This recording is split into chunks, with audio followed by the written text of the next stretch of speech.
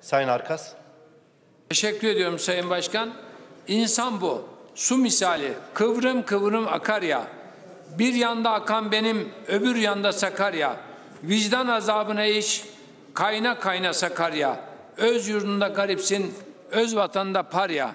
25 Mayıs 1983'te vefat eden, edebiyat ve fikir dünyamızın büyük ismi, Üstad Necip Fazıl Kısaküreki vefatının 39. yıl dönümü vesilesiyle rahmetle anıyorum. Ruhu şad olsun.